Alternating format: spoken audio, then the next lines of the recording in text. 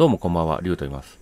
本日はですね、エブリワゴンにオートクルーズコントロール、後付けのやつを取り付けしたんで、取り付けの様子、取り付け方法、こちらをね、紹介していきたいと思います。で、まあなんでエブリワゴンにオートクルーズ取り付けようと思ったかっていうのは、一個前の動画、こちらで語ってるんで、まあこちらも合わせてご覧いただけたらと思います。えーと、僕こういうのね、全くやったことないんですよ。初めてなんですよ。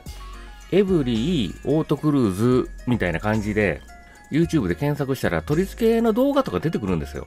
で、ネットでも調べたらそういう取り付けのブログとかも出てくるんですけども、見させてもらったんですけども、なんかね、いや、それぞれもちろんすごくね、えっ、ー、と、わかりやすくやってくれて、非常に参考にさせていただいたんですけども、この1個見たら、最初から最後まで全部できるっていうものがね、多分ね、僕がただ単に理解力がないだけかわかんないですけど、なかったんですよ。ちょっとはしょられてたりとか、え、ここ、このナビのこれ、車速のこれ取るんどうしたらええのみたいな。ど、どこでどうやったらいいのみたいなとか、そういうのも多かったんで、えっ、ー、とね、この動画ではもう本当に全くど素人、こういうの初めて、もう主婦の女の人でもできるように、エブリーワゴンにオートクルーズを取り付けられるっていう動画にしたいと思いますので、興味ある方はね、本当に、あの僕でもできたんで、あのー、ぜひね、ちょっとチャレンジしてみてください。世界が変わります。はい。めちゃくちゃ楽になります。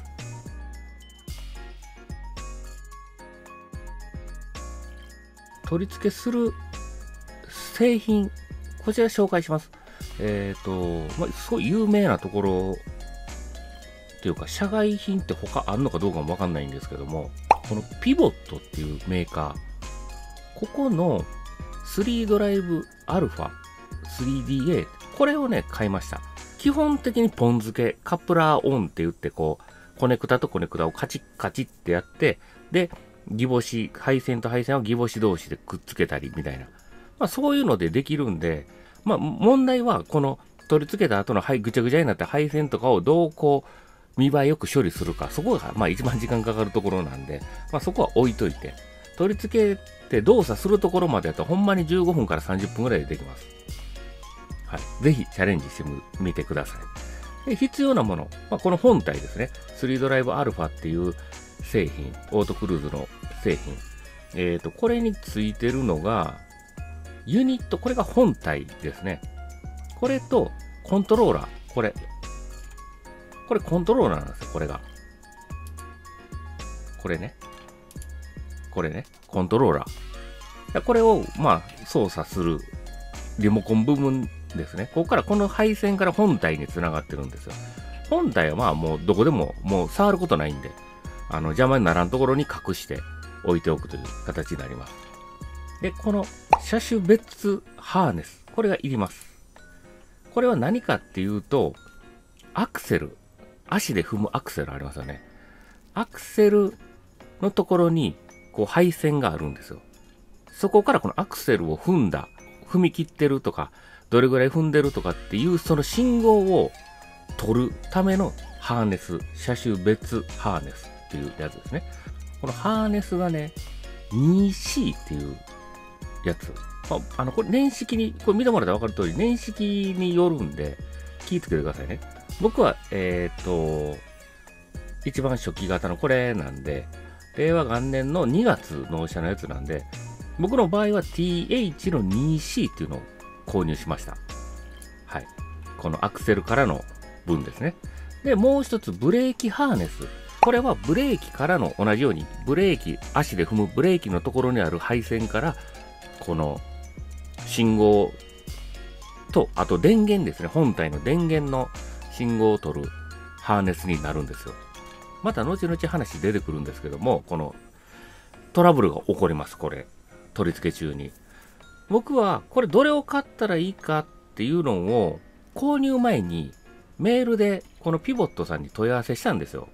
これ買いたいんですけどって言って、じゃあ、この3ドライブアルファ、まあ、もう一個あったんですけど、この AC2 っていうのもあるんですけど、まあ、これか、この、このアルファシリーズか、まあ、このあたりだったらオートクルーズできますよ。で、車種別ハーネスはこれ買ってもらって、で、えっ、ー、と、ブレーキハーネスは、えー、年式によって変わるけど、年式、この年式やったらこれ買ってくださいね、みたいな感じで、メールで教えてもらったんですよ。教えてもらったやつが、このね、BR の1、これやったんですよ。なので、僕は、その、こだわでこれを購入してます。これを購入しました。えっ、ー、と、この3つが基本的なセットになります。で、あと1つ、車速パルスっていうところの配線がいるんですよ。まあ、これは、えっ、ー、と、ナビの裏から取る。僕はそういう風にしたんですけども、カーナビで地図をこう動くじゃないですか。車の速度に合わせて地図上、画面上で。で、えっ、ー、と、何キロで走ってるから、目的地まで何時間で着きますみたいな計算したりとかしてるじゃないですか。それまあ車速のパルスがついてるからそれができると思うんですよ。その車速パルスからちょっと拝借して、こっちにいただきますって言ってオートクルーズの方にもらう配線の、えっ、ー、と、パーツ。これも買いました。えっ、ー、と、エーモンのオーディア車速配線カプラートヨタダイハツ鈴木車用 5P4967 これを買いました。あの、ナビの裏にごそっとナビを引っこ抜くと、これの、これメスなんですけど、オスの配線がぴょって出てるんですよ。で、それにカチッとはめると、この車速のパルスと必要なのがリバース、バックのシフトレバーをあの R に入れた時の信号、これの配線が取れます。これも買いました。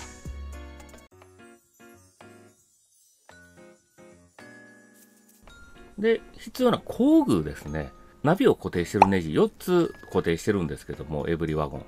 そのネジを取るドライバー、普通のドライバーですね。もう100均とかで買え買ってもいいと思います。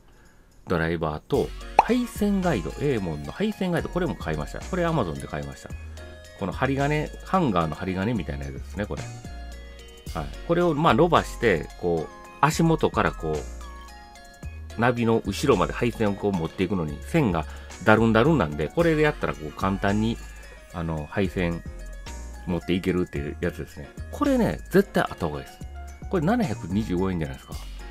多分今回 MVP こいつです。今回の作業で唯一配線の加工が必要な部分があるんですよ。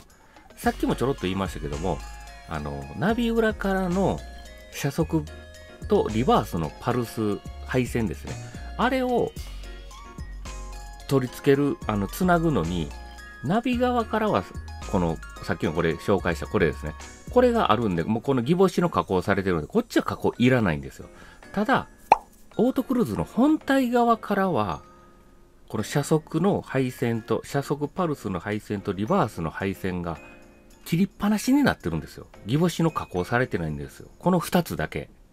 後の配線されてる、この2つだけされてないんですよ。まあ、この2つはおそらく、このエレクトロタップか、まあなんか自分で加工して取り付けてくださいねって基本それやと思うんですけど、僕はこれを買ったじゃないですか。買ったんで、ギボシで取り付ける形になってるんで、この電工ペンチ持ってなかったんで、これも買いました。で、これに、このセットですね。このセットに、このギボシもついてるんですよ。これ。なんかこのペンチと、えっ、ー、と、このギボシ、その切りっぱなしの方に取り付けるギボシもついてるんで、これを買いました。これイエロー貼ってて2180円やったんですけど、アマゾンめっちゃ安いんで、あの、アマゾンで買ってください。はい。断然安いんで。アース取り付けるのにセンターコンソール外したんで、その時にマイナスドライバーが、それがいったのと、これが別途オプションで買いました。で、ちょっと、あの補足なんですけども、あの、車速のカプラーですね、アマゾンでこれ別途買ってくださいって、このナビの裏に取り付けるやつって言ってたんですけども、あの、基本的にカーナビが付いてる車っていうのが、このコネクタがちょうどカチッとはまる配線が出てると思うんですよ。ただ、出てないかもしれないんで、これは購入前にすぐできるんで、確認できるんで、まあ、確認方法も、この後ほど作業に出てくるんで、ちゃんとこれが取り付けられるカップラーがあるかどうかは事前に見ておいてください。あるものとして前提として今から話進めますんで。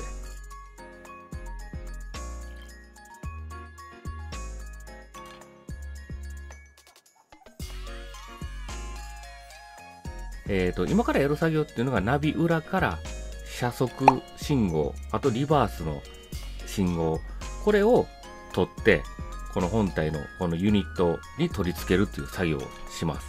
で、この本体のユニットからこの、えっ、ー、と、8P のコネクタが、これが、あの、付属してるんで、こっからリバースと、えっ、ー、と、車速信号の配線が出てるんですよ。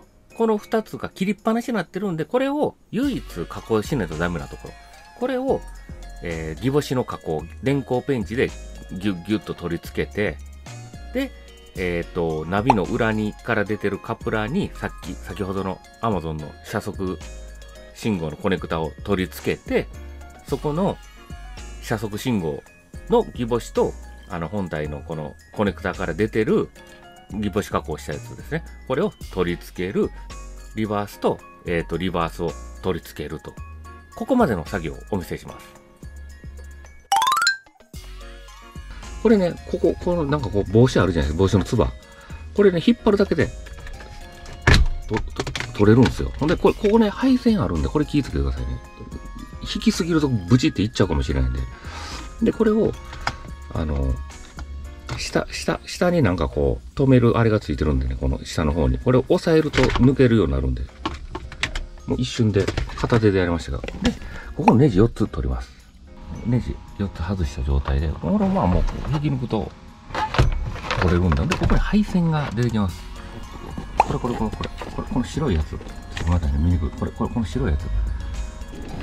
見にくい。こここれね、この白い、これこれこれこれ。これね、別売りで買った、アマゾンで買った、この、ここに繋げてもらったら車速のこれ取れますよ、みたいな、これが売ってるんですよ。ほんで、これでいけるんですよ。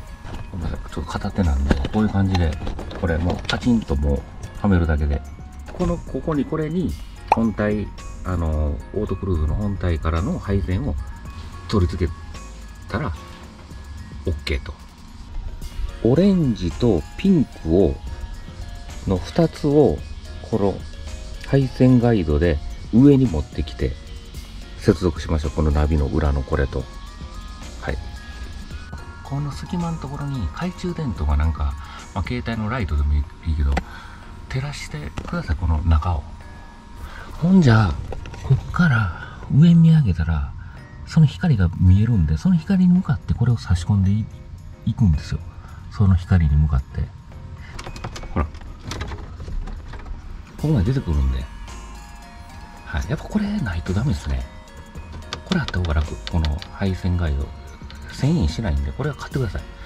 あの、秒で終わるんで。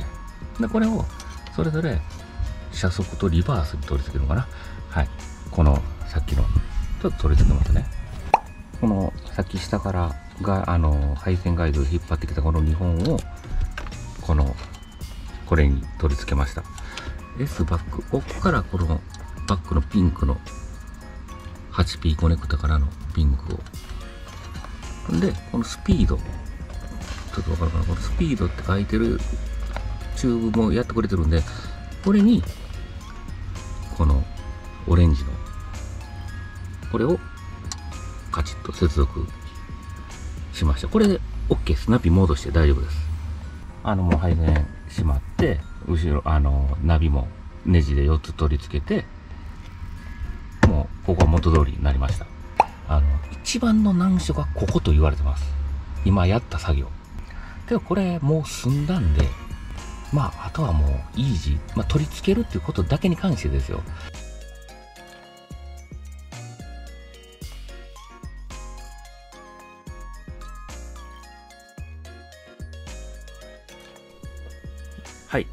で、次に行うのは、車種別専用ハーネス、アクセルのところから配線を取って、これを取り付けると。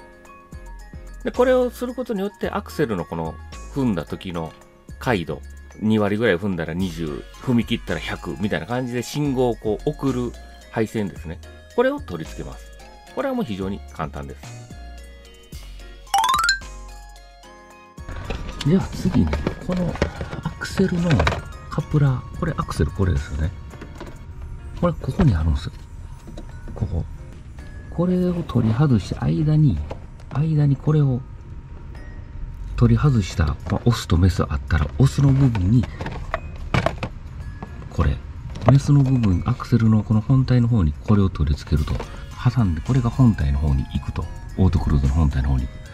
エンジンを切ってドアを開けた状態で15分ぐらい放置してからやらないと、なんかチェックランプがつくみたいな感じの、なんか書いてたんですよ。だから一応、できるだけそのようにしてください。バッテリーとかもそのままです。今、エンジンかけもってかかる状態でやってます。はい。これを外してますね。この上の、これで分かりやすい。これが刺さこれが刺さってる状態なんですよ。まあ、同じやつがね、ここに。これの、ここ、押しながら引っ張ったら抜けるんで、押しながら、押しながら引っ張ったらも簡単に抜けます。で、この間にこれをかましましょう。間にかましてで、これが、これを本体の方に取り付けることになります。次、ブレーキの方も行きましょうか、このままね。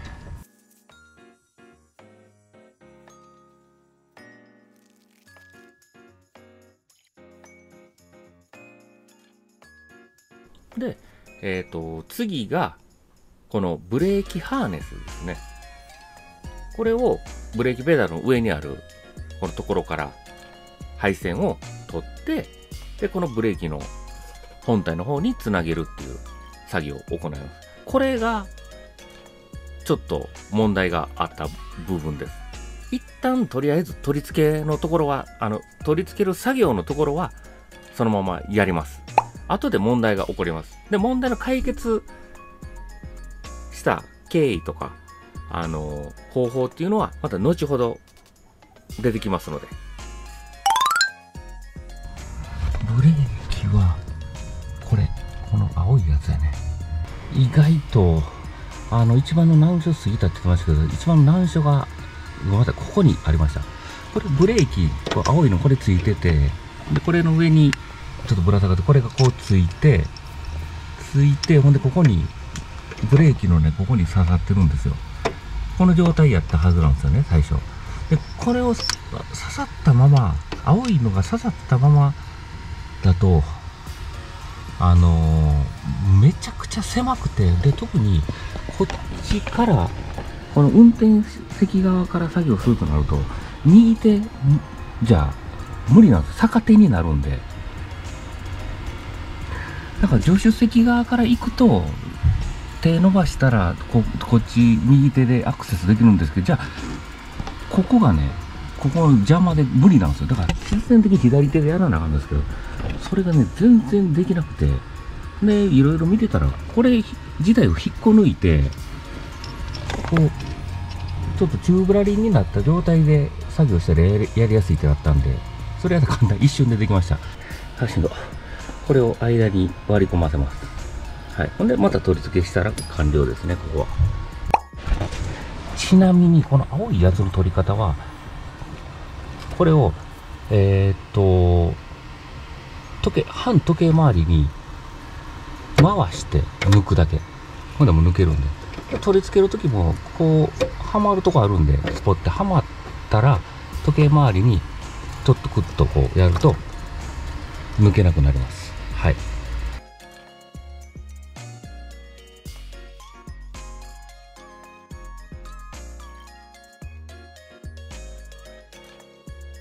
本体取り付ける前にあと一つね、いるんですよ。アース取らんとダメなんですよ。えっ、ー、と、アースはここ。ここですね。センターコンソール。これ外した。ここに、えっ、ー、と、なんか他のこれのアース切ってたんで、そこをちょっと借りて曲がりして。はい。ここ、あの、この六角レンチみたいなので、ネジ緩めて挟み込んでつけました。で、センターコンソール外し方、なんかね、あの何、このプラスチックのパチッパチッパチッとクリップみたいなの止まってるだけなんで、これは簡単にマイナスドライバーがあったらちょっと差し込んでピッてあげるなんか専用の外す道具もあると思うんでそれの方が爪折れなくて確実だと思いますはい、まあ、爪折れたところでねもうこんなんまた爪売ってるんであのそのクリップがこれね、はい、これ売ってるんでこの謎のねこれがこのコンソール外したところ時にパーンって出てきたんですよまあ、見んかったことにしてもいけそうな感じするんですけどね。ここ、これか。あ、なんかこれっぽい。ここっぽいかも。じゃあ、ここはってなるけど。じゃあ、ここはってなるけど。運転席側の方からポンって出てきたんやけどな。まあ、いいか。まあ、ほんで、アースも取れたんで、戻しますね。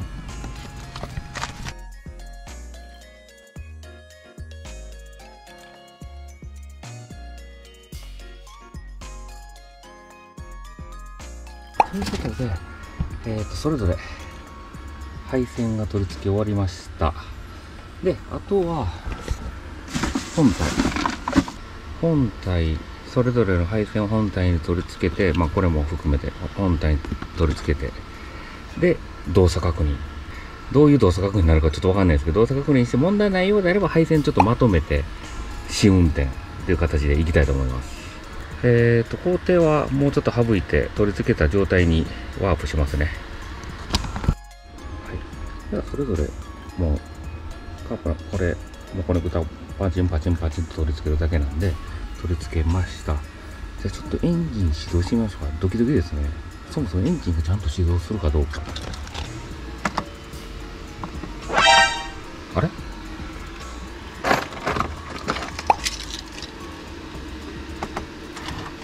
っくりした鍵がない鍵がない状態やったから危ない危ないエンジンつけへんからびっくりした応ナビが動作してブレーキも機能してアクセルちょっと踏んでいますねアクセルも機能してただこれがついてないな。オン。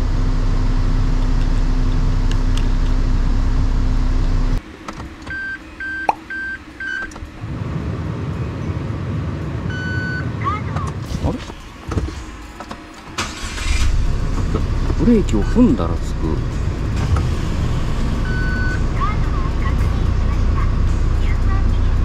ちょっと待って。ってことはこれやっぱりなんか配線ちゃうな。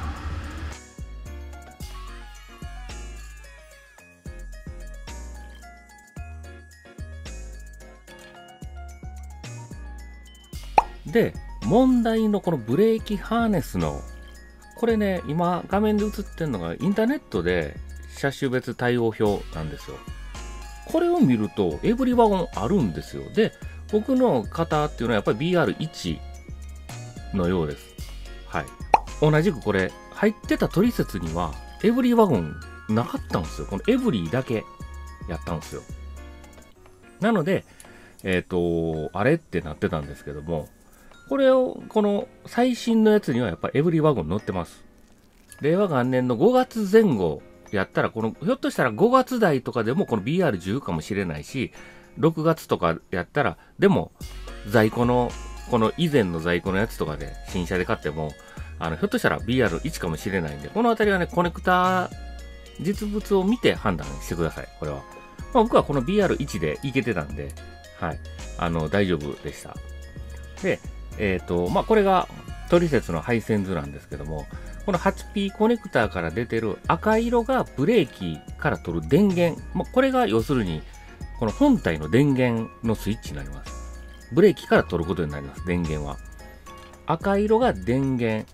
グレーがブレーキスイッチの信号、ブレーキを踏んだっていう信号。これを、このグレーの配線がブレーキを踏んだっていうのを感知して、オートクルーズを一旦解除するっていう、この信号を取るわけなんですよ。入ってた取説には、これ、あの、ブレーキの配線表なんですよ。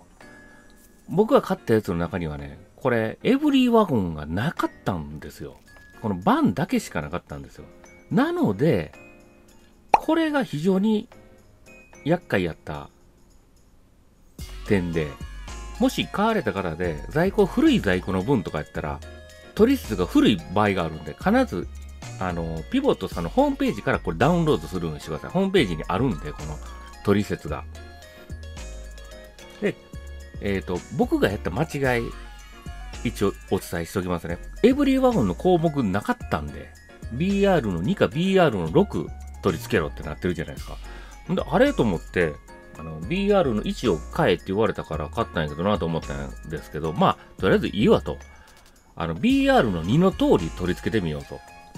先ほどお伝えした、あの、電源の方、ブレーキの電源の方が赤。あの、本体側の、オートクルーズ本体から出る 8P コネクターからの配線ね。で、グレーがブレーキのスイッチの信号ね。覚えておいてくださいね。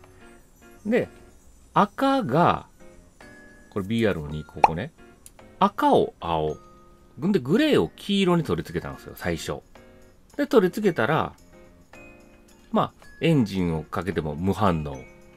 えっ、ー、と、あれってなんで電源つけへんな、電源つけへんなと思って、あの、コントローラーが液晶表示されないんで。で、次に試したのが、ほんで BR こっちでやったらええんかなと思って、赤を黒に、グレーを白に取り付けたんですよ。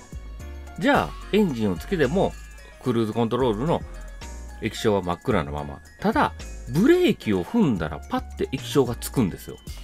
離したら消える。ブレーキを踏んだらまた液晶がつくっていう状態なんで、あ、じゃあ、この赤の電源コードに今ついてるのはブレーキの信号なんやと。だからブレーキに反応してるんで。ということは、赤のコードについてるこの黒の線っていうのは、ブレーキの信号なんやと。クルーズコントロール本体から出てるグレーの方にこの黒を取り付けました。だから、まあ、これ BR の位置、あの、本当の説明書で言えや、この黒とついてますよね。グレーの方に。このグレーの方にね。これが分かったわけなんですよ。で、電源の赤の配線の方。これは一個一個調べていって、取り付けて、エンジンかけて、あ、つけへん。入れ、あの、別のところに取り付けて、エンジンかけてつけへんっていうのを繰り返してた黄色で電源ついたんですよ。なので調べていったら結局ここにはたどり着いたんですよ。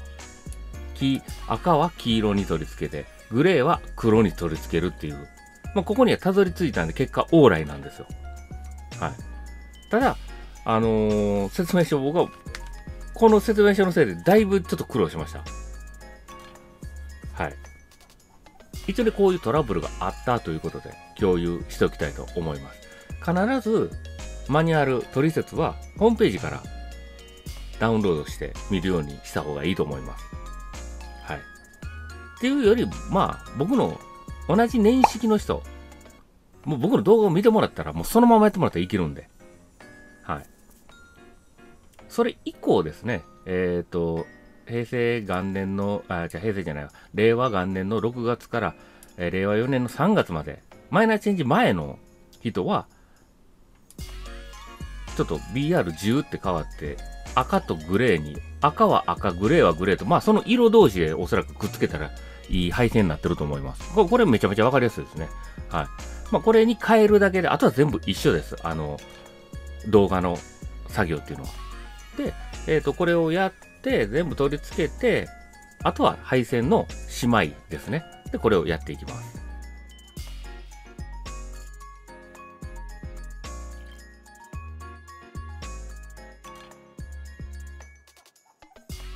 一応初期設定終わりました。これなんかノノーマル、ノーの状態になってる、なってて、アクセルを踏むと、こう、アクセルの回度によってこう数値が変わって、目いっぱい踏み込んだら100になる。はい、これで初期設定完了します。はい。はい、一応ね、ちゃんと配線し直しました。このハンドルのこの